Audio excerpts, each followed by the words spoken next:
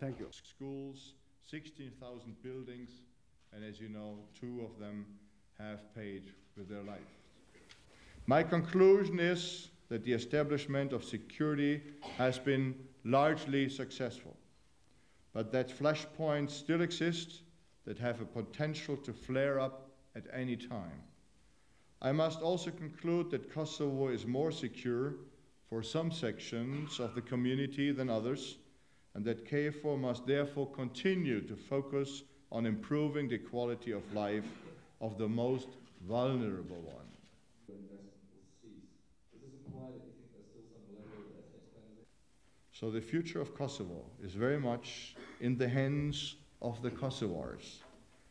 But I know from talking to many of them, the vast majority want to work with the international community for a peaceful and a more prosperous future.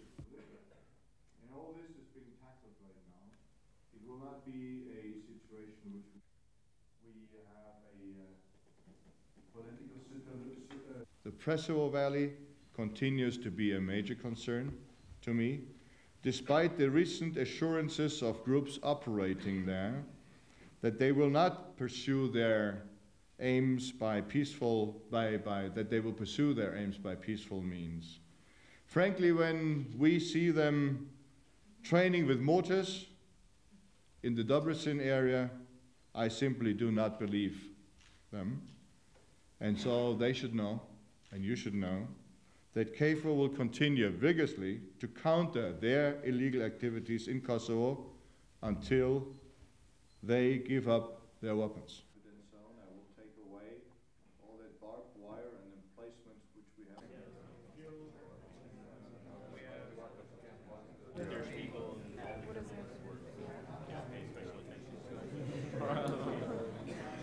Situation, die wir angefunden haben mit hohen Raten äh, von Kapitalverbrechen, die wir auf ein sehr, sehr normales Maß reduzieren konnten und wir konnten das stabilisieren. Das ist wahrscheinlich mit einer der wichtigsten Punkte, die wir schaffen konnten. Wir haben sicherstellen können, dass die jugoslawischen Streitkräfte nicht zurückkommen, dass sie die Sicherheitszone, die wir um äh, Kosovo herum aufgebaut haben, gegenüber Serbien voll respektiert haben.